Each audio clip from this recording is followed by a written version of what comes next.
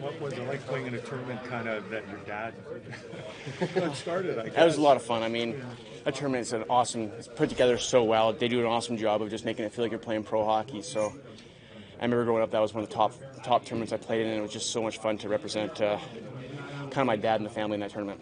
How'd you guys do? Did okay. We didn't do great. We did okay. So it was just was it around ten that you moved, or uh, Uh, it was about nine, nine and a half. We moved down to California, and then, um, yeah, just I loved my time in Edmonton. It was awesome. I still have a lot of friends and family here, and it's it's a great spot. I love it here, and we've moved to California and kind of been both are both are considered home to me now. I'm sorry, we're kind of like this is your life on a day you're starting. So I. No, no, no worries at all. Chance uh, to, to talk to you. Um, I, I wonder like what it's been like. Uh, were you go? Did you go to games as a kid here?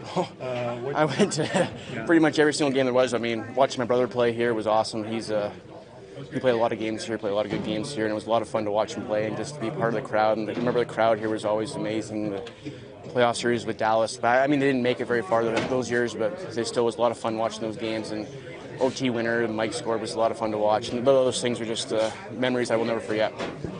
And what about now, being a all grown up and NHL goalie and, and starting against your own team? It's a lot of fun. I mean, it's a dream come true to myself. I mean, I always saw myself playing against, playing against, or playing for the Oilers as, as a kid. I was always pictured myself, and I mean, at the time Rexall, but now the new building here, it's uh, it's a dream come true to play in front of family and all that kind of stuff. And it's uh, always exciting whenever I get to come home. Done it a couple times in preseason, but to do it for the first time in regular season is a lot of fun now. Are you expecting to have some friends and family in attendance tonight? Oh yeah, definitely. There'll be some people here for sure. Um, I'm really excited about that. Uh, really excited to see them after the game and just get to know them. But for myself, it's just focusing on the game and focusing on trying to get two points for the team here. As a new player on the team, what kind of opportunity is the first long road trip of a season? Just, I mean, get to know the guys really well. I mean, whenever you're part of the new road trip, it's always nice to get to know everybody, get a little closer to everybody because you're really spending so much time together, and that's uh, that's always exciting. Thank you.